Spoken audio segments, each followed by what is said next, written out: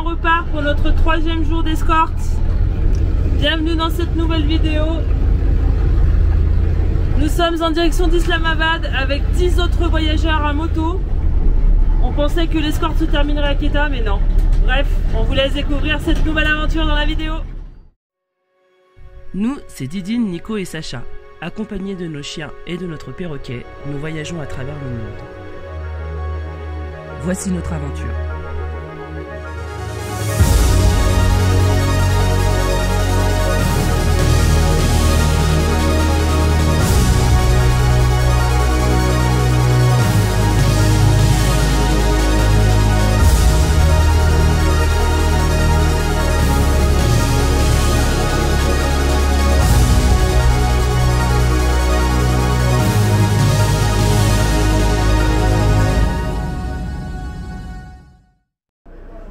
Ce matin, café au cœur de la caserne militaire. Pas des policiers. Je reprends du commissariat de police. Oui. Donc euh, il est 6h50. Dans 10 minutes on s'en va. Et aujourd'hui l'escorte est motivée. Ils ont dit aujourd'hui on est à Quetta les gars. Donc aujourd'hui on se fait 400 bornes là euh, bien comme il faut. Le problème c'est que- avec Nico sauf que. On n'a pas retiré d'argent. Hier soir, ils m'ont emmené dans un ATM, mais les ATM ils marchaient pas. Je sais pas comment on va faire parce que si on a besoin de gasoil, euh, ils prennent pas la carte bancaire ici. Donc je sais pas. On va voir Nico. Inch'Allah. Comme dirait. Un vrai Pakistanais, toi. Il te manque que les vêtements. Ça y est. T'es au, t'es au thé? Tu checkes les réseaux sociaux vite fait On a un petit peu internet avec euh, le modem des policiers, donc euh, on en profite. Ah, c'est. Ouais. Et qu'est-ce qu'on dit aux abonnés, Nico? On les remercie quand même pour les deux dernières vidéos. On a 10 000 vues sur les deux dernières vidéos.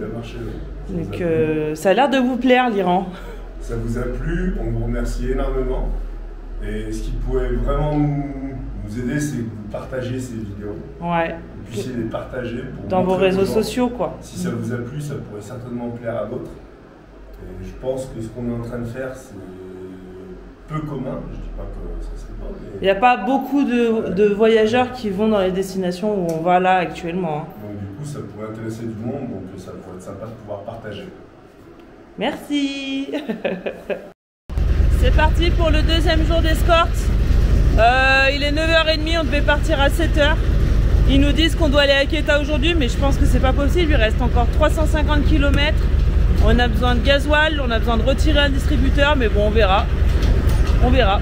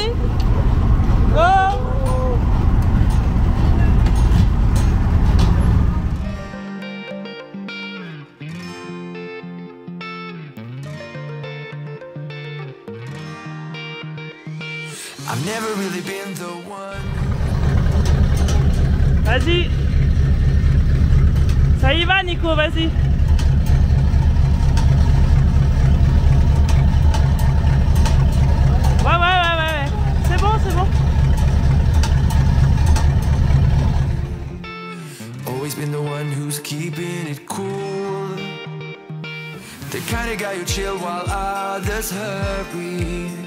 I didn't know that I've been the fool. I've been telling lies about something real. But I know love is based on honesty. Kept thinking how real. Bon, aujourd'hui, la didinette, pour tuer le temps, s'est mise au macramé. Parce qu'on a pas mal de routes et du coup, bah, quand on est passager, euh, il faut savoir s'occuper. Tu disais, il est où Sacha?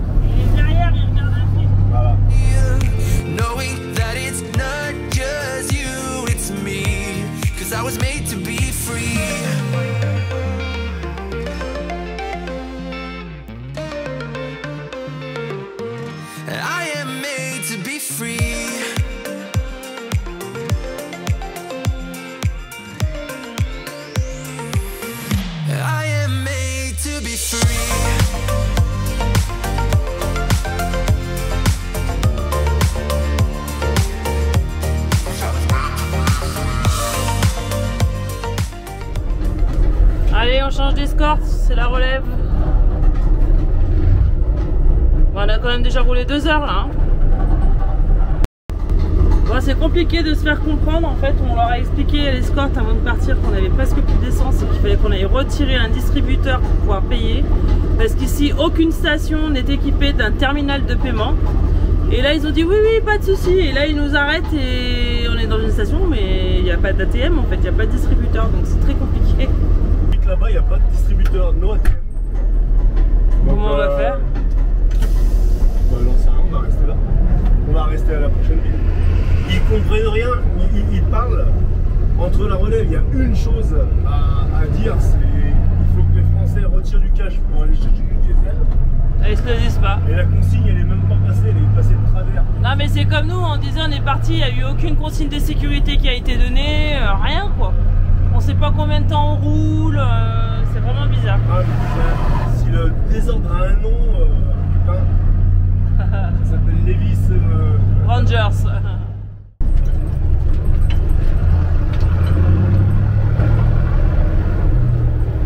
Bon, on s'arrête à un poste de contrôle pour rechecker les passeports.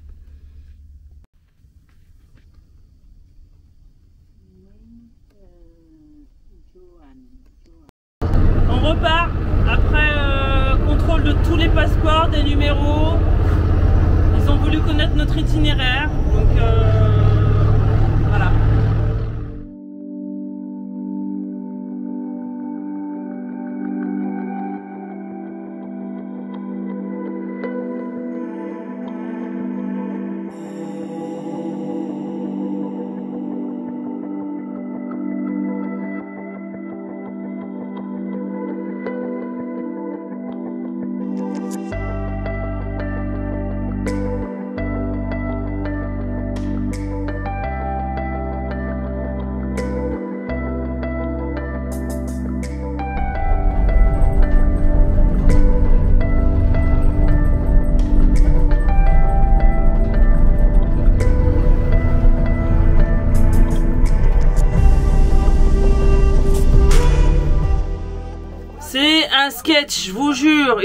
Encore les passeports, qu'alors il y a 20 km. Et ils nous les ont déjà demandé, les passeports, les visas, tutti quanti, les papiers du véhicule et tout le bordel. Et ils mettent un quart d'heure à prendre les photos, machin. Franchement, là, c'est vraiment en train de nous saouler. C'est déjà 13 heures, ça fait 4 heures qu'on roule non-stop sans aucune pause. Euh, là, on sait pas où on va, on sait pas ce qu'on fait. On leur dit qu'il nous reste que, que 60 litres de gasoil. Euh, on peut faire encore 60, euh, 40 km et après c'est fini. Donc ils comprennent pas qu'il nous faut un distributeur pour retirer de l'argent et pour pouvoir mettre du diesel. Donc ma foi, ils verront hein, si, on tombe, en panne sur la route, et ben on se démerdera à trouver du gasoil. euh. Mais voilà, ça fait plus de 200 km qu'on leur dit qu'on a besoin de diesel et ils écoutent pas, ils prennent pas en compte euh, ce qu'on leur dit, bah ils verront. un 14 tonnes en panne sur le bord de la route en plein Baloukistan. Bah, ça va piquer. Hein. Hello? Donc il y a le gars de l'escorte qui dit bah écoute pas de soucis si t'as besoin de 60 litres pour faire les 150 km. J'ai pris un peu large, j'ai pris 40 litres au 100. Euh, il nous avance l'argent et on le rembourse. Donc au moins on se déstresse un peu. On va Ah à la ouais. prochaine station, on se met 60 litres et on part direction euh, Quetta. direction Quetta, là où l'escorte nous libère et après on sera libre dans la ville. Ok, en espérant qu'on trouve un ATM rapidement quoi. Quetta apparemment il y a tout ce qu'il faut. Ouais. Ici il y a des ATM mais ils sont pas fournis. Donc, Ah, euh, c'est pour ça qu'hier hier soir, c'est pour ça que j'ai pas réussi à Exactement. retirer en fait. Alors non, c'est pas un, c'est pas un gars de l'escorte, c'est un citoyen normal. Euh, Qui va nous suivre jusqu'à Quetal le gars. Il fait 160 km pour. Euh... Bah peut-être qu'il y va en fait à la base. Peut-être qu'il y va, sûrement. Ah c'est monsieur qui parle en anglais là-bas Ouais, il parle super bien anglais. Il a dit Ah. non, mais si t'as besoin de 60 litres, moi je te paye à la station, tu me rembourseras. En espérant que ça passe à Quetta. C'est comment on va Non mais les cartes elles vont passer Nico, Euh, on est plus en Iran, les Ouais, visas, les ouais. Mastercard ça passe. Non, non, ça y va. Bon le moment s'arrête à- dans une heure et demie pour manger Ah, bonne minute, ok. et après... Bah... Non mais ils sont graves, Ouais, mais- ils nous stressent pour nous dire on y va, on y va et là maintenant on démarre et ils nous disent stop. Il va falloir que t'apprennes. Ah euh, ouais non mais moi ça me fait péter Là, des câbles. C'est- Je comprends pas. Ok, one minute. Donc du coup je disais à 14h on s'arrête pour manger et cet après-midi normalement on rallie Quetta. Donc euh, ça nous aura fait quand même euh, 400 bornes, euh, ouais 450 km aujourd'hui encore. Ah bah du coup on y retourne en fait. Laisse tomber. Et t'as fait couper pour euh, remettre. Allez on y va.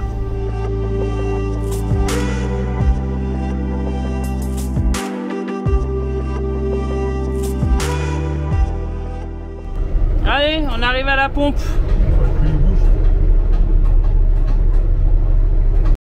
Donc petit conseil aux voyageurs qui ont le même itinéraire que nous, parce que je sais qu'il y a des familles hein, qui arrivent ici, on les a en contact sur WhatsApp. Prévoyez un peu de liquide euh, avant de venir, des euros, des dollars, euh, ce que vous voulez. Ou alors à la frontière, vous avez un distributeur aussi, là où vous allez être parqué la nuit. Il y a une banque juste à côté et nous on n'a pas eu le réflexe d'aller retirer. Donc euh, prenez un petit peu d'euros quand même avec vous ou des roupies si vous trouvez une banque. Ou à défaut des dollars. Vous n'avez pas besoin de beaucoup, hein, même 50 euros ça vous suffit parce que le gasoil ici il est à 80 centimes le litre. Donc euh, hier on a mangé au resto, euh, c'est nos amis espagnols qui ont payé pour nous, ils nous ont avancé. Et on a payé euh, 500 500 roupies par tête, donc ça fait 2,50 euros. Donc euh, vous n'êtes pas obligé d'avoir 300 dollars sur vous quoi. Mais retirer 20, 50 euros c'est bien pour les premiers kilomètres pour traverser avec l'escorte dans le Baloukistan quoi. Allez c'est parti.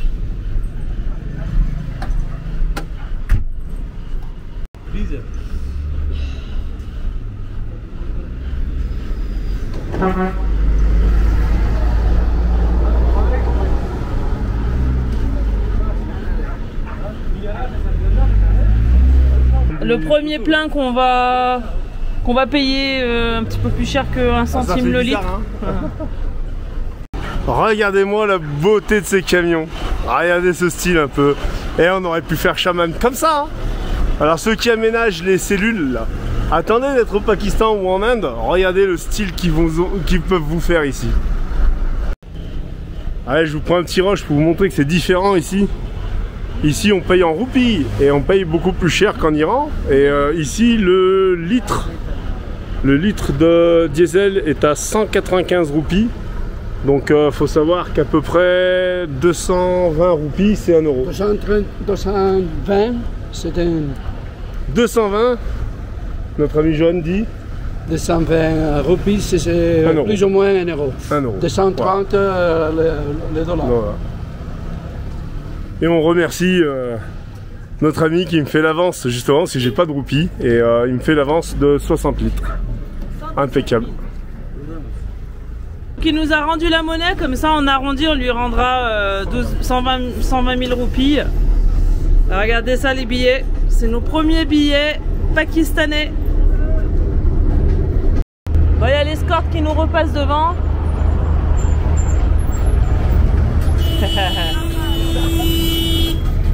Et on y va. Go, go, go, go, go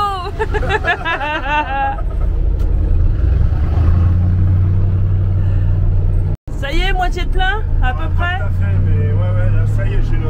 On va pouvoir aller jusqu'à Keta. Nickel.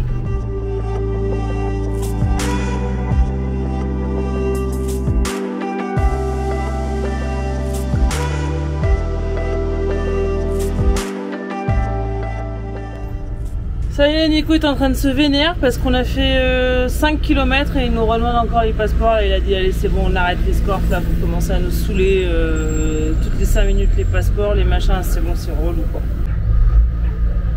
Donc là, euh, je crois qu'on va quitter l'escorte en fait.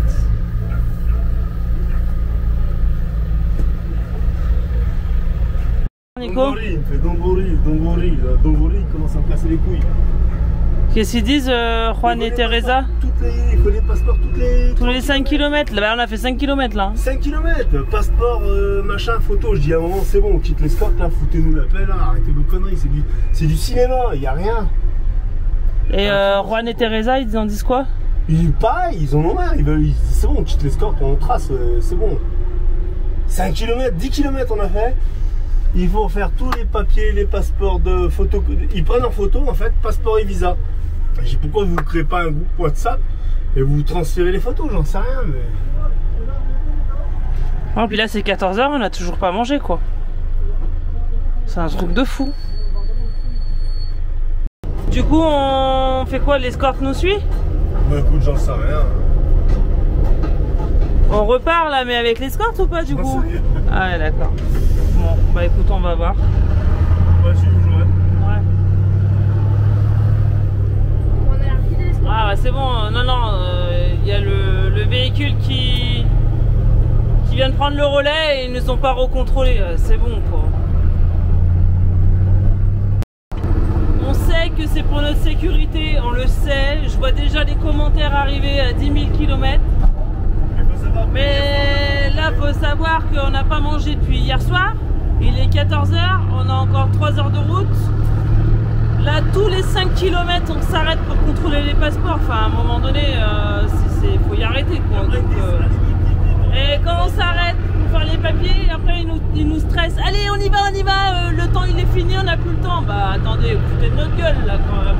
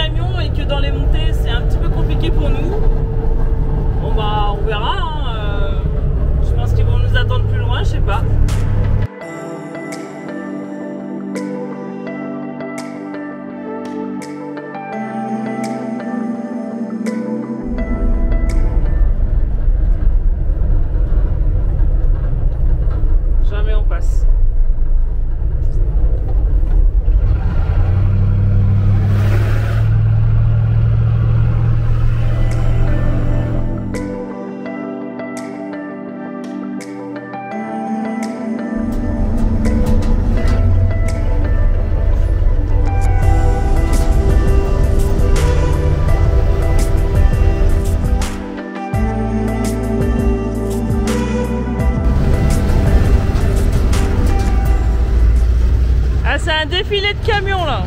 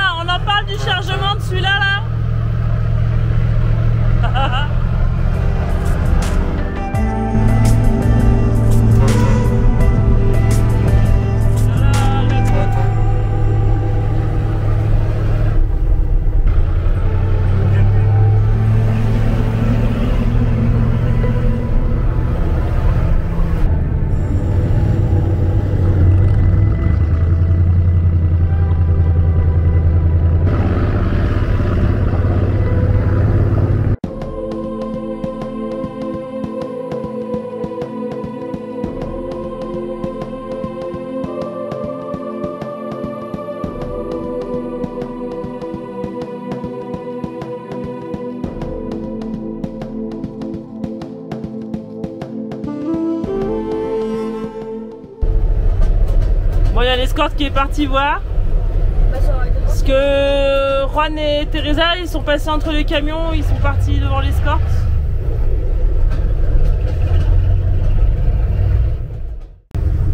Ah ça y est, on repart.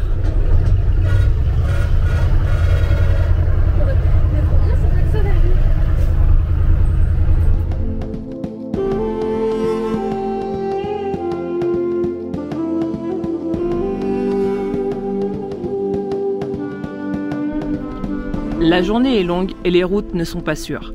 Nous savons que nous ne devons pas traîner, mais la circulation, la fatigue et la faim font baisser notre vigilance et augmentent notre stress et notre impatience. Nous tentons tant bien que mal de nous frayer un chemin au milieu des camions, mais nous perdons l'escorte de vue malgré nos efforts. Heureusement, on peut compter sur les nombreux changements d'escorte pour la retrouver. Bon, rechangement d'escorte. Est-ce que ça va être le même sinoche avec les passeports et les visages J'en sais rien. On va voir. Allez, c'est reparti.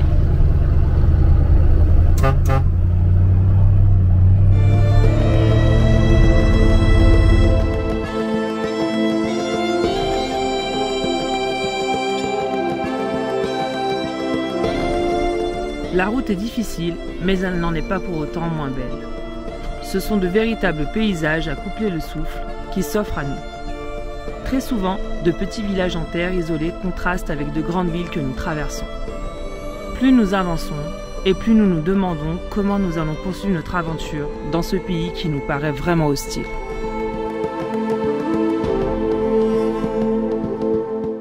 Nouvelle relève. Après 10 km, on change d'escorte. On change de véhicule.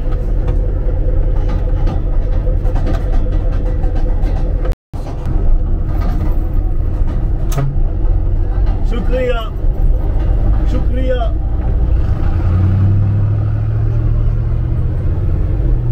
Ça, ça va relativement vite.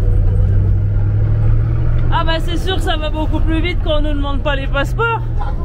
C'est Nico il dit oui ça va quand même relativement vite. Bah oui parce qu'il nous demande plus les passeports là. Ah, mais là, si c'était tous les 5 km, fallait descendre. Mais- Ah non mais c'était pas possible. Tous les 5 km donner les, pa- les passeports c'est pas possible. Au début, au milieu, à la fin, je veux bien euh, qu'on donne nos papiers, mais euh, c'est bon. euh, Tous les 5 km c'est pas possible quoi. Non, mais c'est bon, arrête de filmer. on va passer pour les impatients, ça commence à me gonfler là. Donc 14h30, on a C'est les passeports qui veut. toujours pas mangé.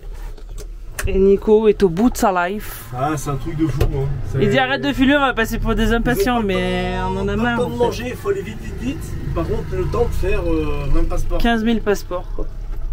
Bon, on s'arrête. On a dit à l'escorte qu'on voulait s'arrêter parce qu'il fallait que Sacha y mange. Attends. On n'arrive pas avant 17h à Keta et là c'est pas possible. Sacha il a même pas déjeuné ce matin donc, euh, donc on s'arrête. Allez, c'est tout bon. On s'est fait des petites carottes, des petits oignons, des petits trucs à manger en attendant avec du kiri. Euh, non, du kiwi. Et ça nous fera patienter et on mangera ce soir à 18h quand on arrivera à Keta. Impeccable.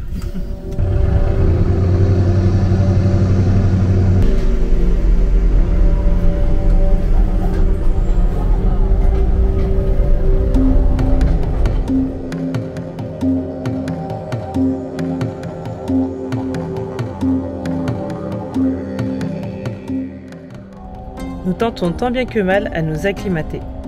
C'est la première fois dans le voyage que nous sommes autant dépaysés, je dirais même déboussolés. Le choc est vraiment énorme. Nous avions une idée du Pakistan, mais en fait, nous nous apercevons que nous étions loin de la réalité.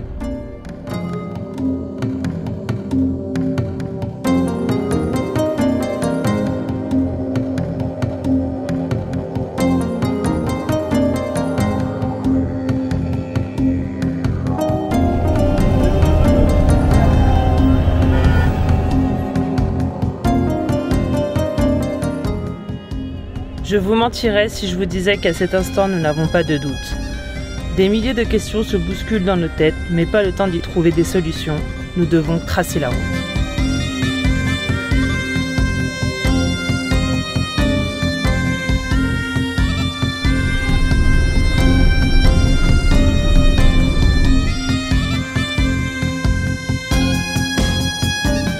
Bon, je pense que c'est un petit avant-goût avant avant l'Inde. C'est vraiment sport. Hein. Putain, euh, différence avec euh, l'Iran, là, c'est un fossé.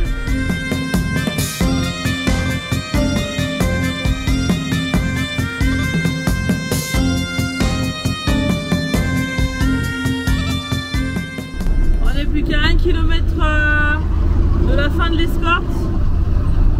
Là, il va bientôt faire nuit, donc il est temps quand même qu'on se gare et qu'on se pose là.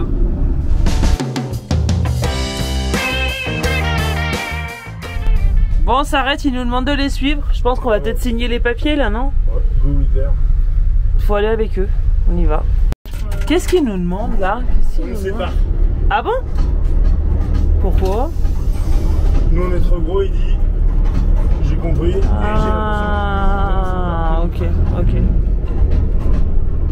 On bouge. My, my friend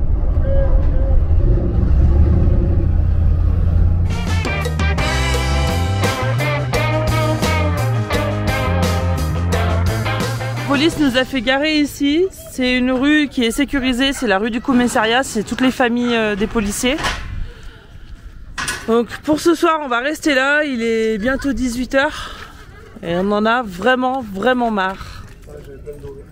Bon allez, on suit la police au, commissariat et je pense qu'on va faire la décharge la fin de l'escorte. On est crevé, mais il faut encore qu'on aille chercher de l'argent au distributeur. On n'a pas mangé, il est 18h. mais bon, au moins l'escorte est terminée. Bon, on a bien roulé euh, toute la journée, 8 heures de route, on est claqué. On a voulu retirer de l'argent et acheter à manger, et la police nous a dit Vous n'y allez pas tout seul, donc ils nous ont accompagnés. Euh, on est allé chercher euh, fast food là, on a pris un kebab, enfin s'ils appellent ça, le, je crois, je sais plus comment. Charman. Et Didine, bah Didine elle est saoulée parce qu'elle s'est commandée à manger. Et elle a bien précisé deux fois no spicy, no spicy. Ils ont fait non, non, c'est pas spicy, c'est pas spicy. Et ici, quand c'est pas spicy, bah c'est quand même spicy. Et regardez les emballages. Regardez ça si c'est pas cool. Donc c'est les emballages euh, du restaurant. Et à l'intérieur, en fait, on s'aperçoit que c'est tous les cartons recyclés.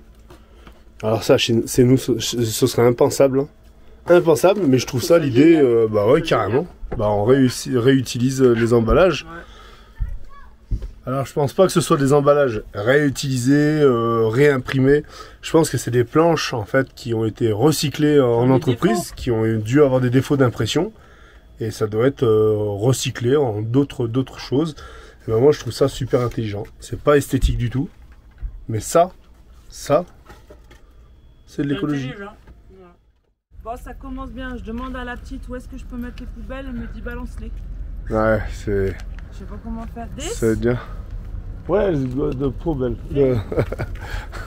Where is the poubelle? Non, non. Ah, si, Yes, que yes. je les jette. Il n'y a pas de conteneur à poubelle ici. Tu- Ouais, donc euh, bah, j'ai balancé mes poubelles ici. Franchement, c'est.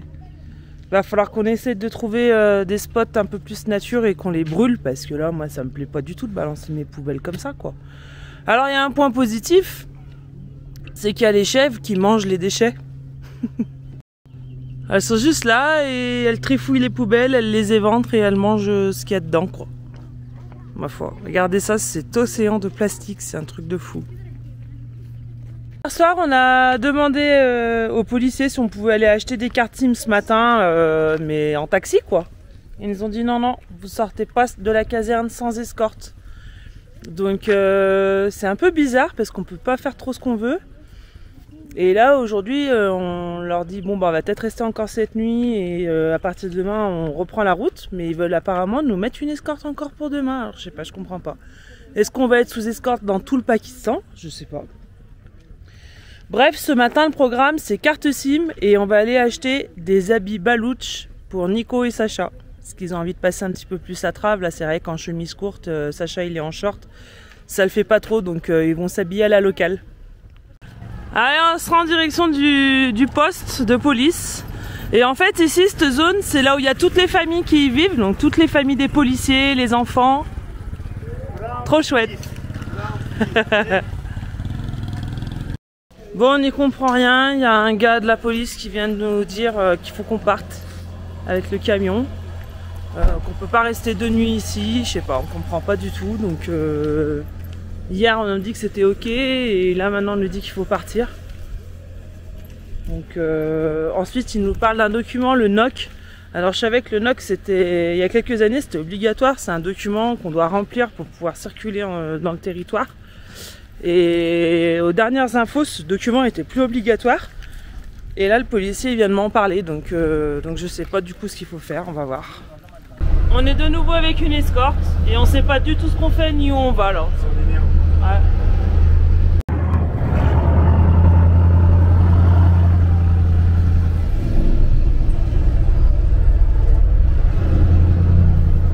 Bon, notre escorte nous a laissé et maintenant on suit une moto, un policier à moto. On sait pas où on va. hein. Et là maintenant il y a une voiture qui arrive. Je pense qu'ils vont nous escorter aussi, je sais pas. On comprend rien en fait. On n'a aucune info, c'est ça qui est, qui est difficile en fait ici.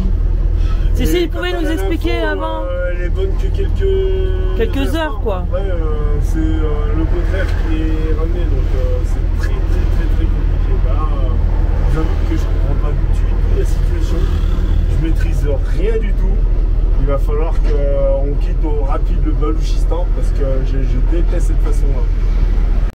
Ah bah non, du coup la voiture était pas pour nous, elle est partie là. Je sais pas ce qu'on attend en fait.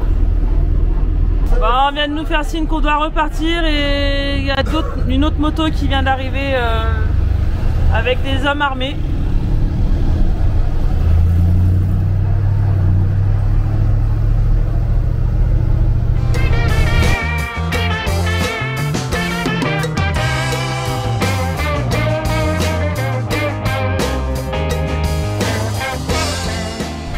Arrive dans une caserne. Je sais pas ce qu'on fout là. C'est trop bizarre. Ah, c'est le gros bazar là pour manœuvrer là. euh, Il y a des voitures de partout. C'est un truc de fou.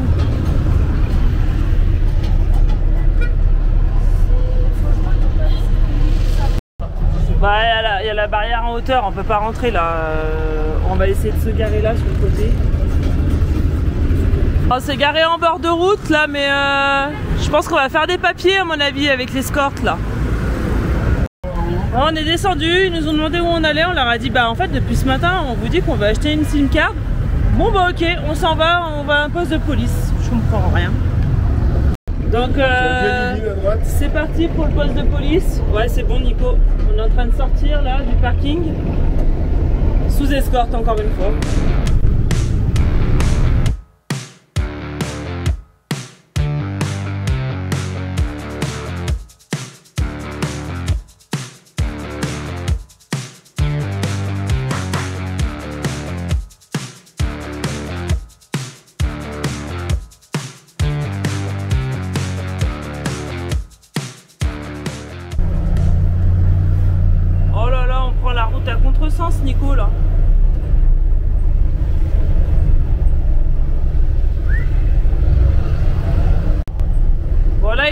La route pour qu'on puisse passer. Là, on va, ils vont nous mettre en sécurité en fait à la caserne. Juste là.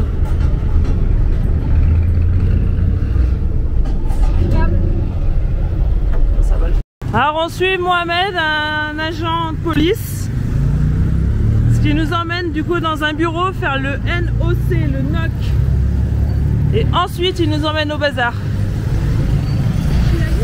Et donc euh, on leur a demandé en fait de nous expliquer parce qu'ils nous disent allez, allez, allez, allez-y. On va leur dire on doit aller où s'il vous plaît, expliquez-nous ce qui se passe parce que euh, vous nous dites d'aller là, d'aller là, d'aller là, mais euh, on sait pas pourquoi. Donc, euh, donc là il nous a expliqué. D'abord on va faire le NOC dans leur bureau. Ensuite ils nous emmènent au bazar pour la- faire la SIM card. Et ensuite on pourra partir. Voilà, vu qu'on aura le NOC, euh, la décharge, on pourra partir. Vivement.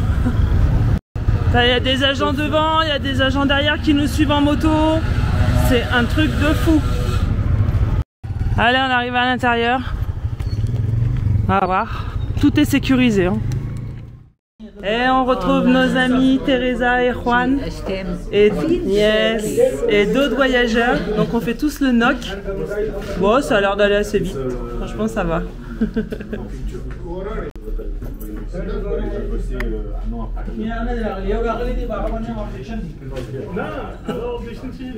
Toujours dans le bureau, ils nous ont rendu nos papiers.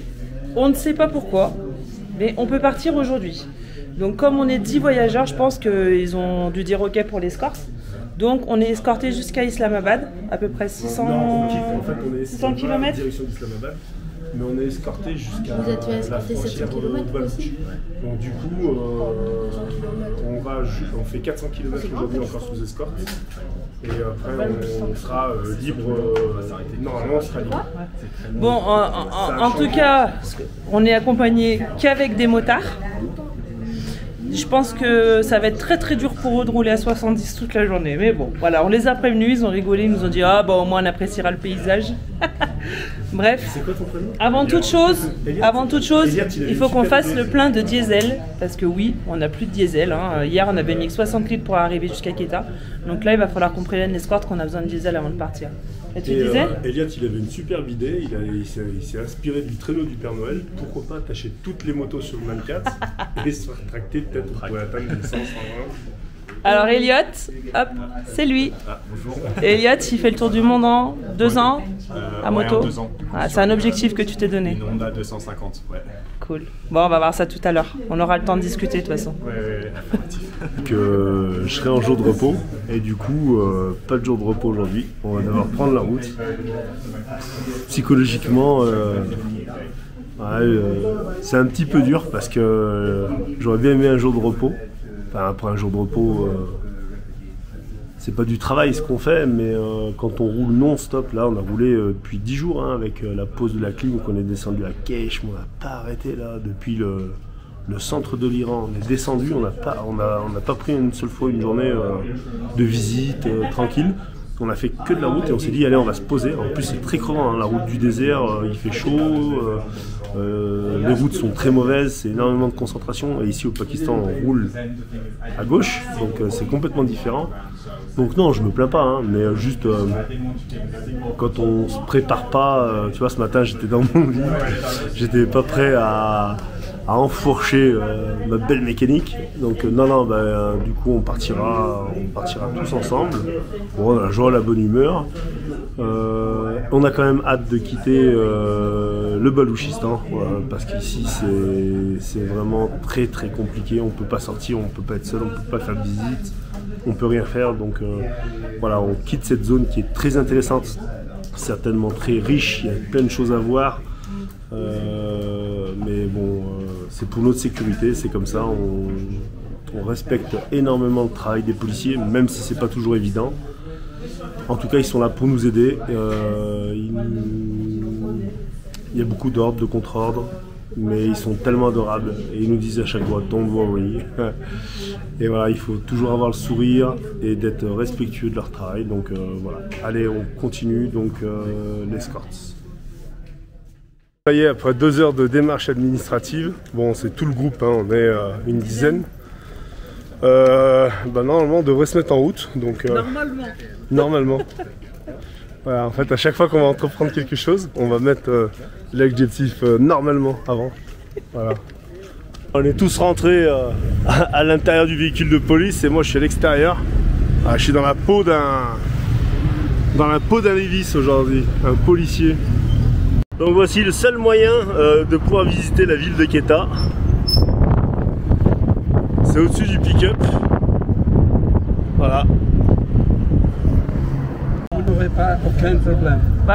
Et Juan est en train de nous dire, mais aller en Afrique, c'est tout le temps comme ça. Afrique, ouais. Parce que là, on est en train de lui dire, mais là, c'est un sketch, là. C'est En fait, c'est là que commence vraiment le voyage. Ben oui, on perd mais- tous nos repères. en fait, on est venu pour ça aussi un petit peu. hein. On est venu pour du dépaysement et là, on est, euh, on est en plein dedans. hein. C'est ça qui est bien. quand tu retournes de, de la Syrie, tu peux aller rentrer par Turquie, après Syrie, après l'Irak, après l'Arabie Saoudite, après Port, plonge en Afrique. Port Soudan, tu arrives à Soudan, après tu, tu vas à Éthiopie, après la Kenya, au tu Tanzanie, descends. au Ouganda, après tu descends à la Zambie, Botswana, Ah, bah, on va voir, il y a quand même pas mal à faire. Eh, Là, il y a du baroudeur. là, il y a du c'est sûr. Et donc, on est, on est tous là, là.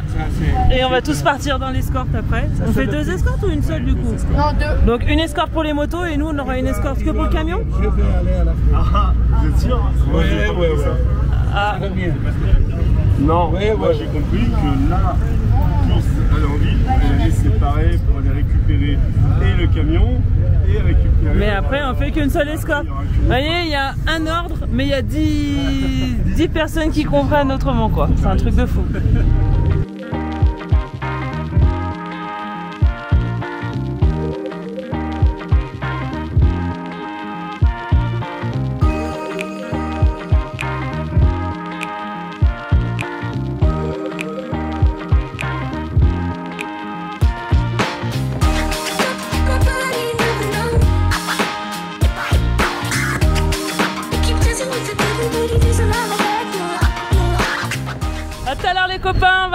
notre camion.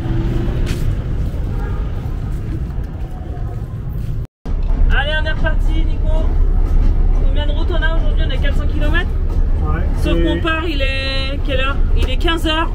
On va, on va quasi pas rouler là, parce qu'en plus on doit aller chercher du diesel. Donc on va voir.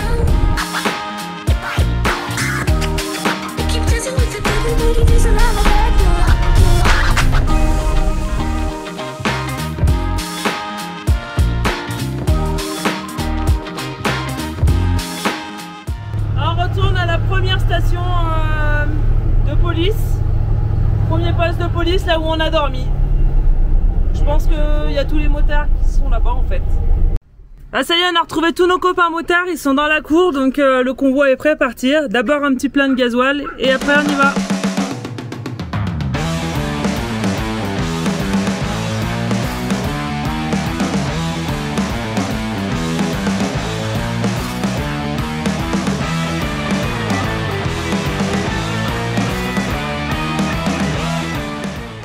De s'arrêter, en fait on a fait demi-tour parce qu'il y a une moto apparemment qui est en panne. Donc on va voir ce qui se passe.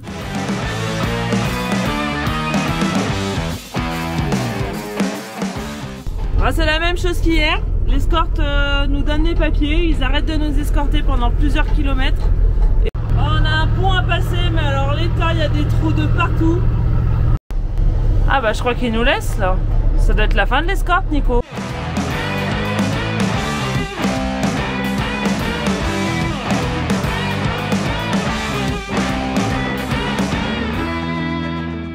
Bon, vous l'avez compris, l'escorte n'est pas finie, tout ne se déroule euh, pas comme on veut, hein, on maîtrise pas toujours tout. On pensait finir à Keta, mais regardez, on se retrouve avec euh, une ribambelle de motos. Donc sur le prochain épisode, vous verrez les routes qu'on a empruntées. C'était folklore, euh, parce que dites-vous bien qu'avec du coup 6 motos, on nous attend pas toujours. Donc voilà, j'espère en tout cas que vous avez bien apprécié cette petite vidéo. N'hésitez pas si vous avez aimé à partager cette vidéo. Et puis on vous dit rendez-vous euh, à la prochaine, c'est-à-dire dans trois jours. À bientôt